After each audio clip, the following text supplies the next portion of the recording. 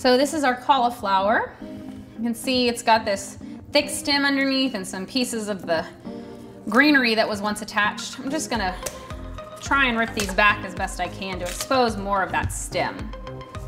Cauliflower can be a little difficult to get into, but once you learn some of the little tricks, it's not that hard.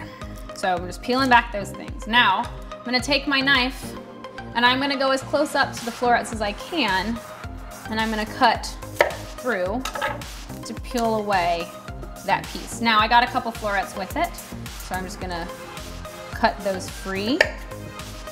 There we go. Set those aside. Then I'm gonna basically just come in and kind of try and cut the florets off piece at a time in sort of larger chunks. You can see I'm sort of choosing these places where it naturally is already pulling apart, like this gap here. That'll be a place where I'll cut down the middle now and have exposed more. So then what I'm gonna wanna do is I'm actually gonna cut up really high towards the florets and cut down. And now I've got a lot of usable and I can actually start pulling it apart even and don't have to do too much more cutting.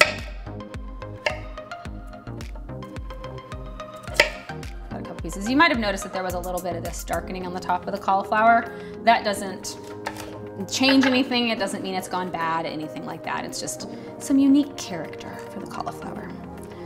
Again, pulling it apart. Cutting pieces apart. Like with all of this stuff, we're trying to maintain relatively uniform size.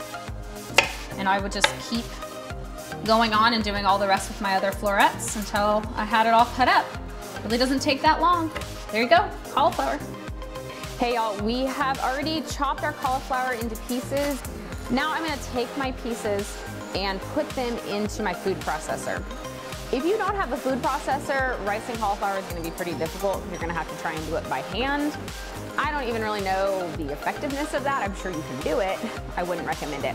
You can, in fact, buy rice cauliflower oftentimes at the grocery store, which is great.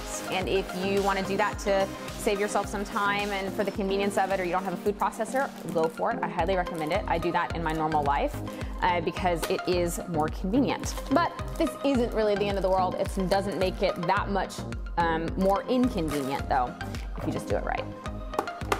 So that's in the food processor. Everything's nice and tight on there.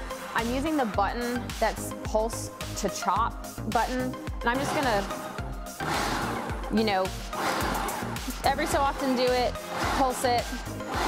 I wanna break up those bigger chunks, but I don't want it to like grind down super, super fine.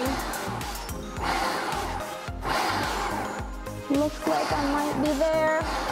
Couple more pulses. And then you can see that I have rice cauliflower. It's not the most perfectly even. There's some larger chunks in there. So, you know, that I'll, now that I'm looking at it, I could maybe put that top back on and pulse it a few more times. But that's roughly the texture that we're looking for when it comes to rice cauliflower. All right, that's it. Got my, my head of cauliflower here. First thing I wanna do is I wanna start removing the leaves because I don't wanna eat them. So I just like to sort of start pulling them off. You can use a knife too to help, and as I get closer in and they get a little bit harder to grab, I might use a knife to help with that. And I am in fact gonna use, not that knife, knife, this knife, to help just take a little bit of that stem off. Because as I'm sure you can sort of see, like there's, it's dark and gross, we don't eat that, take that away. Now I am actually gonna take this small paring knife to just cut some of the last for little remnants of the leaves away. Because with this, you know, I want to keep pretty much most of it intact so that I actually create big, thick steaks or, you know, full steaks that are still together, but I don't want to necessarily eat these leaves. So I'm going to cut around, um, kind of trying to cut through the leaf, but not the, not the rest of the.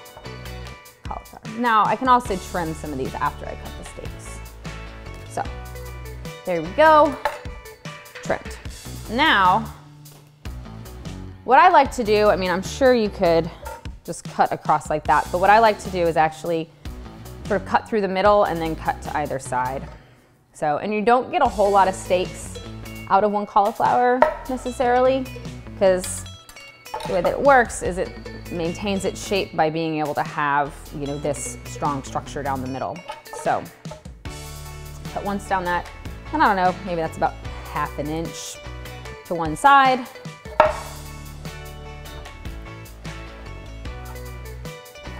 on the other side. And I've got a couple of steaks. Now this one still has a pretty decent um, connection through it. So I'll get another little steak out of this one. But you can see it's starting to fall apart, not really being held together very well anymore. So that's kind of like a half steak. Then these other pieces that I have left over that I wasn't really able to make steaks out of, I would go ahead and pull them apart and just have florets left. So you can see, let me push this all to the side and give myself a little bit of a cleaner area. You can see some of the leaf remnants here, so I'm just gonna cut those off.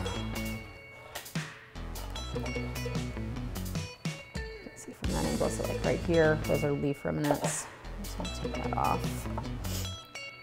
So yeah, you get a couple of steaks out of there. So, you know, one head of cauliflower, you might get up to four steaks depending on how thick the stem is but oftentimes you'll only really get two and a half. Let's call it two and a half. But again, then you use the rest of the head, make florets, cook it for something else.